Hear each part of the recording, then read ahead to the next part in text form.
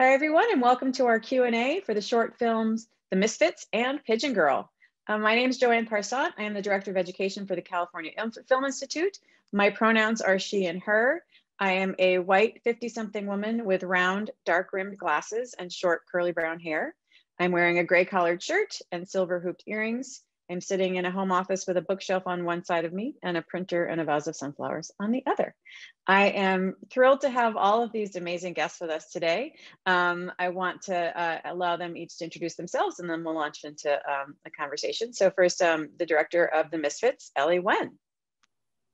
Hi, I'm Ellie Wen, director of The Missfits and really excited to be here. Um, I am an Asian American woman in her 30s, um, straight black hair, wearing glasses in a home office, and wearing a blue shirt. And then two of your awesome film subjects. Let's start with um, Emma Bethel.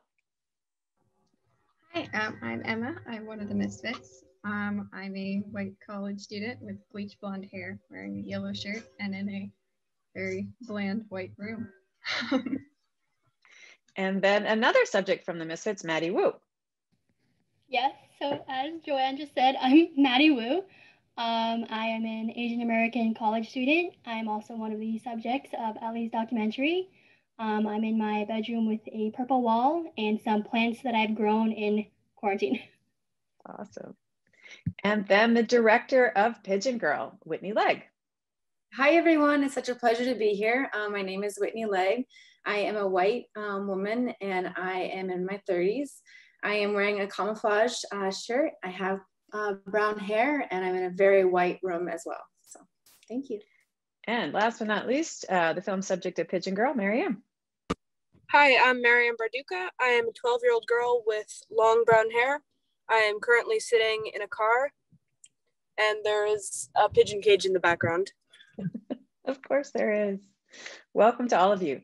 Um, so maybe just to get actually, let's start off with the fact that uh, Ellie and Whitney, that you guys uh, actually created your films in the Stanford MFA Documentary Studies program at the same time, um, just so that we can all get a sense of uh, the camaraderie in the room. If you could tell us a little bit about um, that connection and how you guys worked together on making your films in that program.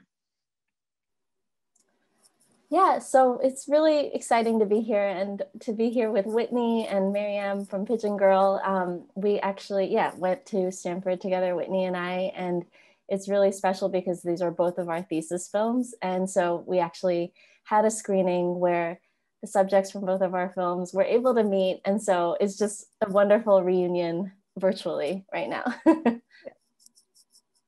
Yeah, and I'll echo um, some of that. It was it was really lovely to spend time with Ellie during the Stanford program, which was two years long. We make films throughout the program, and it was wonderful because we had both picked stories that had to deal with women, girls fighting to make a difference in their communities and trying to believe in what they do. And pigeons and robots had more similarities than we thought, um, especially in the editing room. So to be able to work side by side with Ellie on a project that was kind of similarly toned to how do we find these these women and find their strengths and also their struggles and their victories and it was just cool to be able to sync up that way creatively um, and also with like the social angle of these girls stories so i felt like in the editing rooms or in the conversations in the with the cohort ellie and i were always kind of in tandem um, with that vision and our values so it's awesome to be here and share this this space together so yeah yeah, well, that was definitely my experience when I saw the films. That it was just like such an obvious pairing to me because it was so great to see this, those similarities and that sense of just you know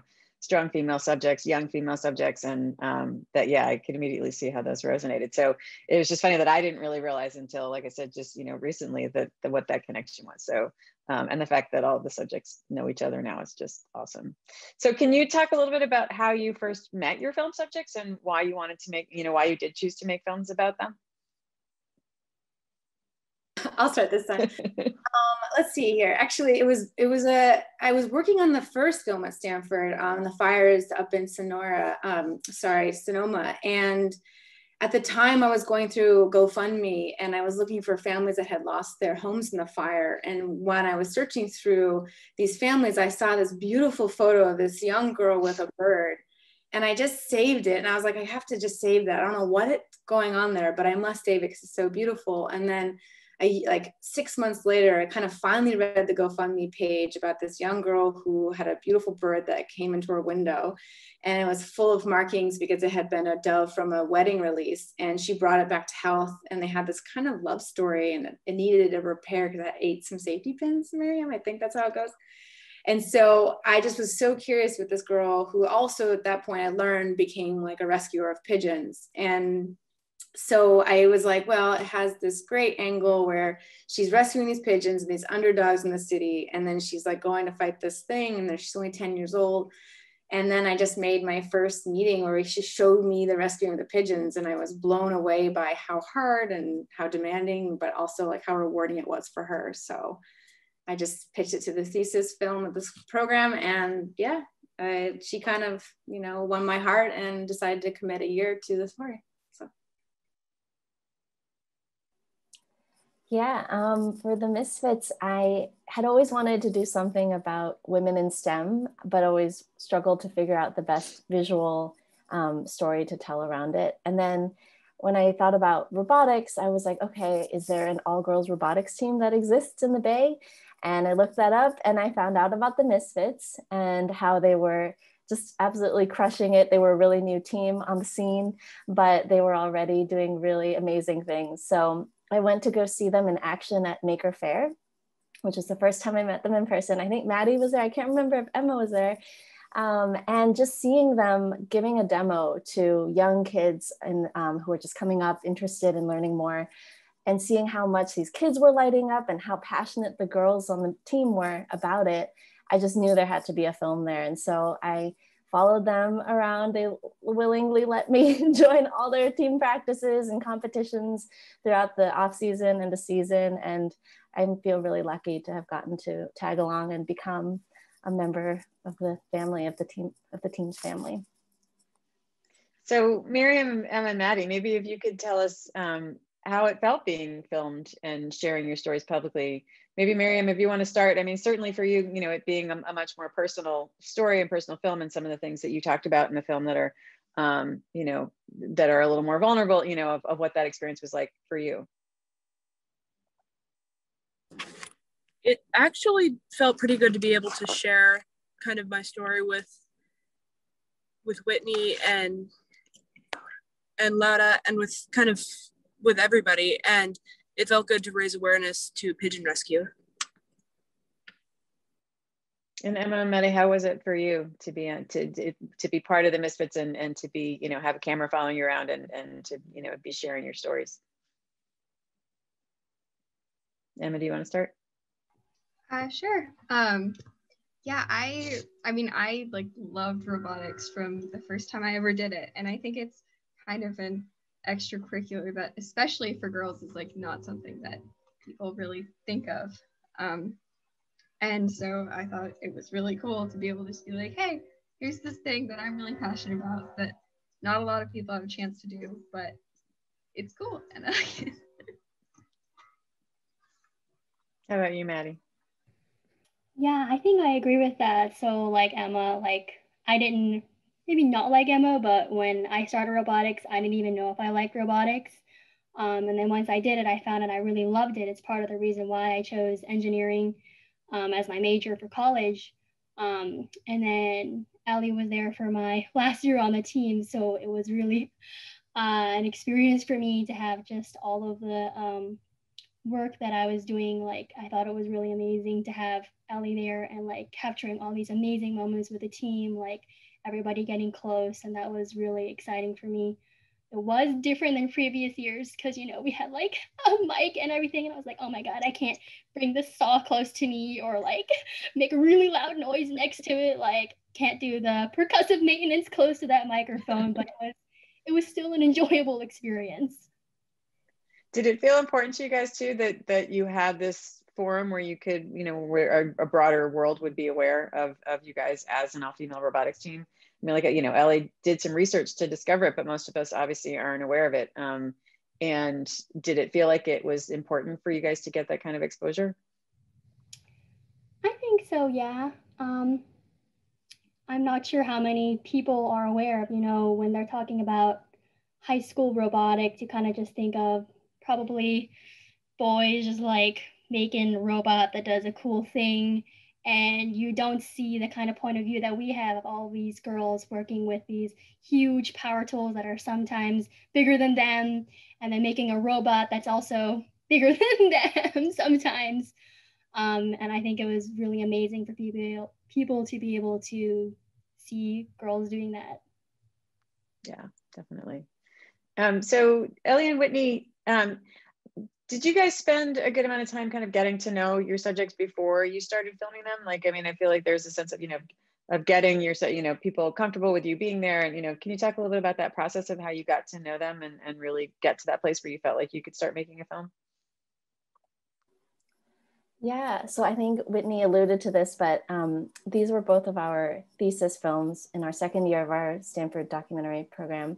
And part of the joy of that was that we got to spend a lot more time than in our first year when we were making three films in one year. This was the only film we made in our second year. And so um, for me with the Missfits, I felt really lucky that I found them in my first year. I actually found out about them in the spring of my first year of school. And so I was able to spend time with them over the summer um, get to know them, go to these meetings and go to off, off season competitions and see them in action before really starting filming. And um, I think, I hope that that helped with everyone feeling comfortable about the camera and this and the crew being around um, and I do think hopefully they forgot about me sometimes that I was there, but they were really considerate to me and my sound person and like never did crazy loud things when the mic was near them. So there was some awareness, which was very sweet. Great. Yeah, it's a great question. Um, and I just, it always goes back to being so thankful for Maryam and Cynthia and um, to be able to even like give us that time, right? And to give us the time to a project that you don't really know, you know, you have a gut feeling and you know your heart is in it, but you don't always know like how it's going to come together or what you're even doing. So to get the blessing and kind of support from the family was really important. So once you kind of start to begin and build that relationship, um, it was great because we kind of took it slow. We took the time where I had like lots of conversations with Cynthia about just Maryam's upbringing, just her as a child, as a mother, and the relationship, and try to understand her perspective and you know, because I think when you're working with, you know, someone, especially young, and you know, this film is going to be with her life hopefully forever, and so there's a real sensibility to the subject and to the story as as a caregiver, you know, of the film. So we had a great time just also spending time at home, and then I think that really helped us develop a nice, healthy relationship. Um, to get a little bit closer to the story and get a little bit closer to Maryam and and Pearl, her her bird and then we spent you know a great amount of time with her actually rescuing the pigeons because it's such a particular shot you have to like basically you know she was so sweet but we have to put a boom pole and then it scared all the birds. And so we had to kind of assess what would be the best for Maryam so she could still do her job and also participate in the film. But the, always the priority was that Maryam could just focus on the birds because that's what she went out to do that day. And if you interrupted it you know, you would just, you know, it would just mess up her whole system. So we were so particular about the shot and the setup and letting her um, be herself on camera. And that was also a big part of conversation with mom is how do we make Maryam be herself? Um, so hopefully we found that in the edit of who Maryam is. So right. So Maryam, Emma, and Maddie, now that you've seen the finished films, how do you feel about them and, and seeing your stories on screen? Do you feel like they ac accurately represent your experiences?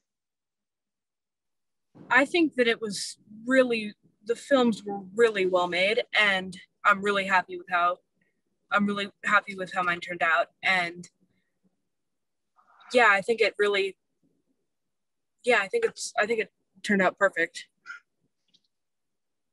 That's high praise for for a filmmaker, I would think. Emma and Maddie? Um, yeah, I think just like knowing the sheer amount of footage that like I know Ellie had, um, it's always just amazing to me like how she managed to get it all to come together because like there was a time she came to my house and interviewed me for like three hours. Like i just started talking and i'm like and of course there's only like a couple lines from that that made it to the final film but it's just like yeah she managed to get the essence of the missfits i think out of just so much. Maddie what do you think Yeah, I think I really agree with that. Um, just like beyond even going to people's houses, I know that Ellie films, I think like our first competition, like two full days straight. And that's a really long time. And I know she was there like whole days while we were working, and it was so much footage.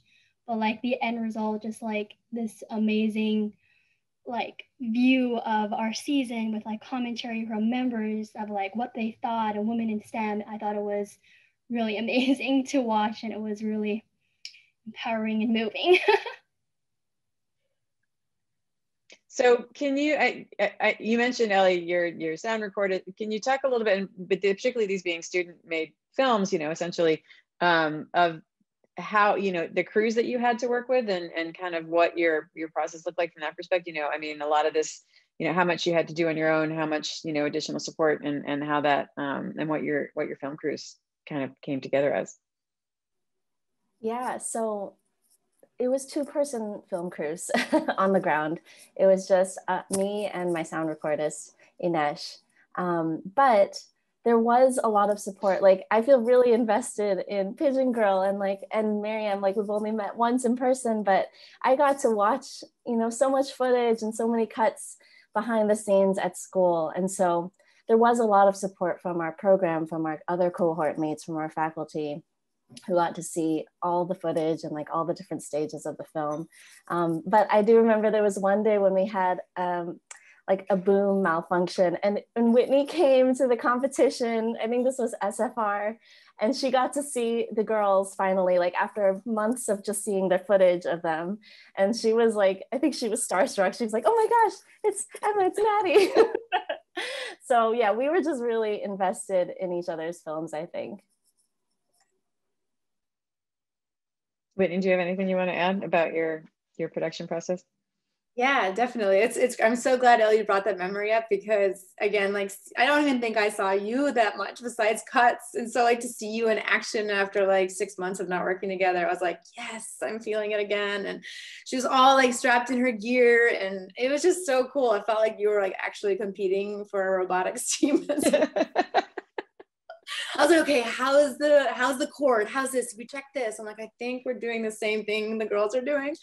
Um, not as cool as them. I mean, they're like, you know, next level coolness. Um, but yeah, my production team was the same. It was two people, um, me and my producer Laura. Um, she was amazing on set because she also was able to talk to Maryam a lot, just not even technically, but was able to work through conversations and um, be a real champion for kind of the content for the piece as well as I could kind of handle the cinematography.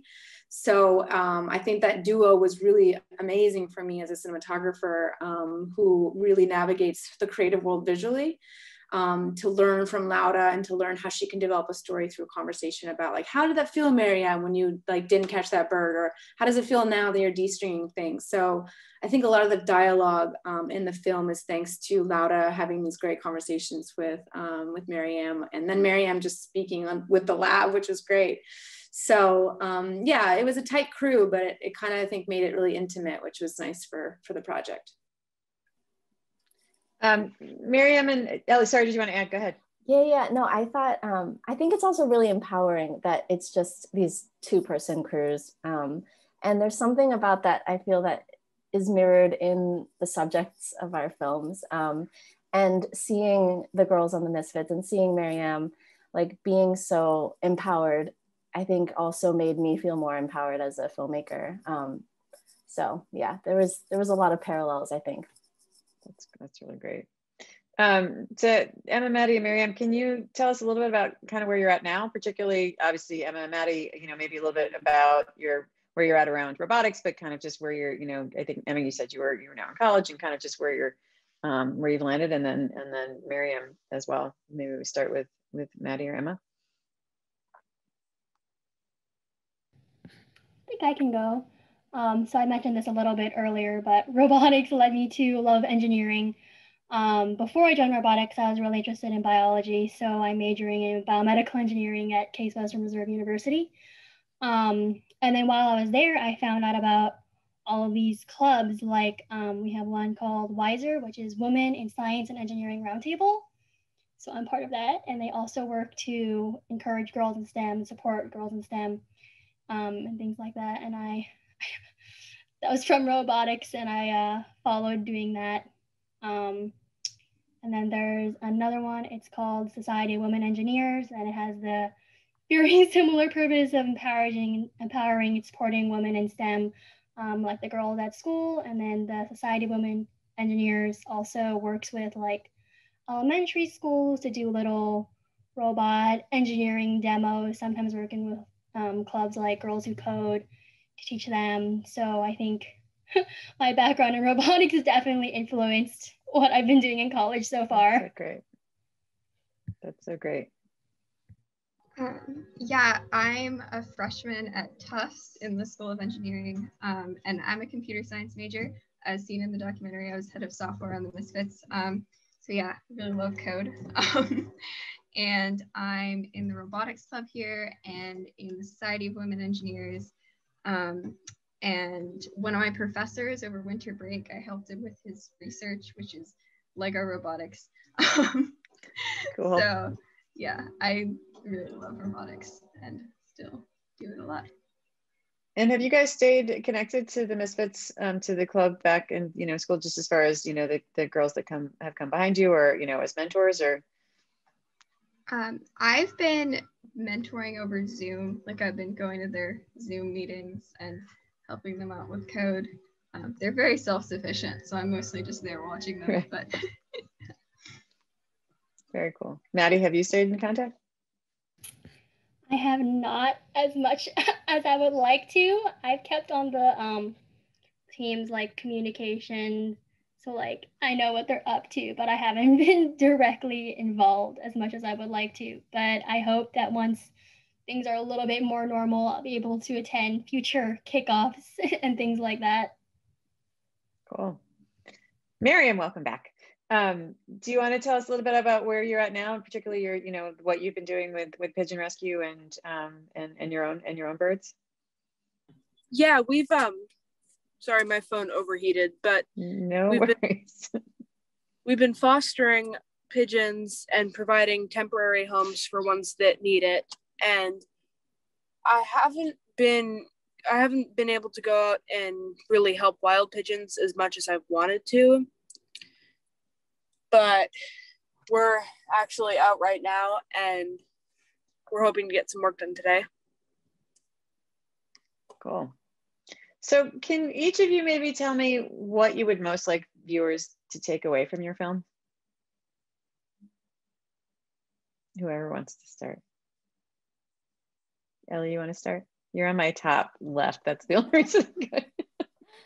Yeah, I mean, the dream has always been for people to kind of have the same reaction that I did when I first met the Missfits at Maker Faire, just to to see people doing something that they love and to follow that passion and to see a place for them to see themselves represented um, and to believe that they can do it too. Nice, Ellie. That's great. I definitely felt that in your film. So it's really beautiful. Um, yeah, I think for me, um, and I hope Maryam agrees that uh, she's just, you know, it's not just Maryam rescuing pigeons and birds and pigeons need to have a voice and, you know, and have a future that's provided for them with adequate care. And um, I, I think that that's a very strong message and we should really consider the importance of pigeons and all animals in this world. And I think she does that so gracefully in the way she works with them um, because pigeons aren't um, cared for and they're not covered under Wild Care Act. So there is no support besides people like Maryam and her mom and the community that she has built in the city. Um, but I also think that Maryam is really unique in the sense that she's not afraid to be herself. And I think, you know, as we all um, are humans and try to survive, I think it's really hard to be ourselves. And so I want people to also walk away with her strength to be who she is. And so everyone else can have the strength to be who they want to be and who they deserve to be. Um, they want to be. So, yeah. Is there anything that the rest of you want to add about what you hope, you know, I mean, they're your stories, what, what do you hope that other, um, particularly, you know, we've got a lot of students who are watching this program. So, you know, what do you hope that other students take away from that?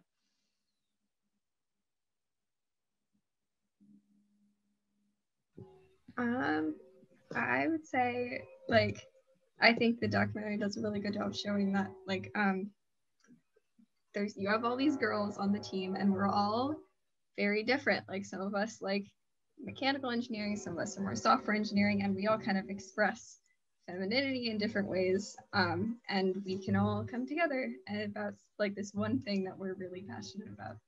Um, so I, I really like that how that comes across.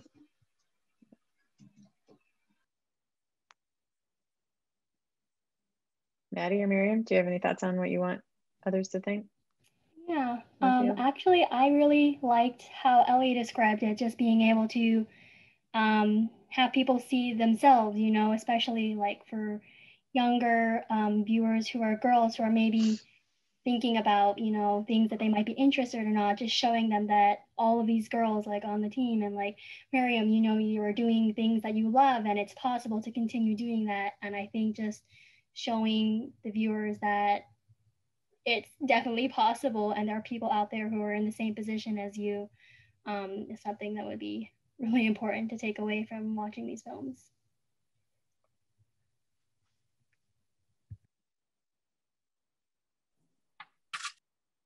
Maryam, do you have thoughts? Um, I was just in, I was watching the film.